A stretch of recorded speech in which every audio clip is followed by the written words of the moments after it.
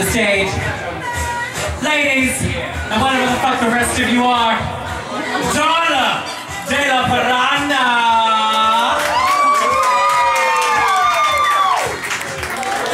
Note those floral prints and those furry mitts.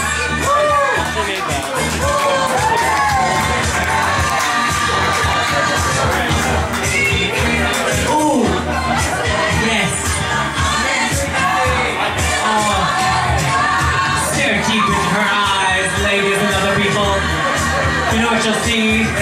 Made in China. Alright.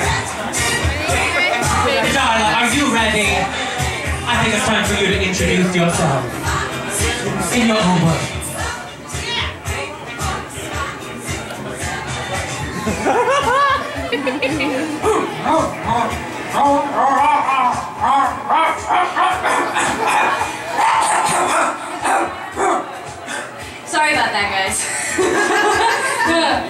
Sometimes I get a little carried away with myself. My name is Darla. I have many different faces. This is just one of them. Very hairy, very hot. I'm from around this area, in the alleys. I'm kind of a stray. But I got all my shots and I'm spayed, I promise. I even have a little tattoo thing on my ear that they give me. It's real nice. So please adopt me. That's what this is for, right? Yeah, Yeah? yeah. Yeah.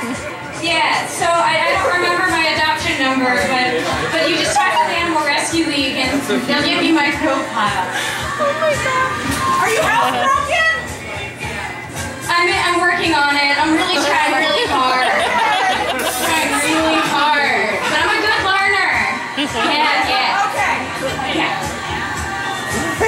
Yeah. Thank you, to, to Mr. Peanut. Get it right. Thank you, Darla.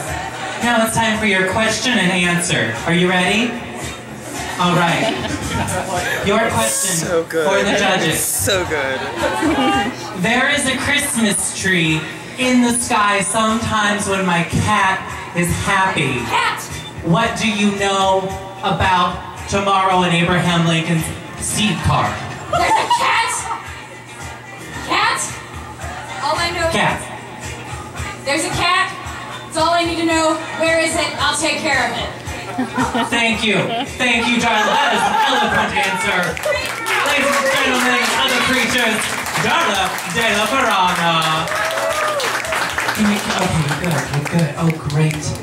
All right, time for contestant number two.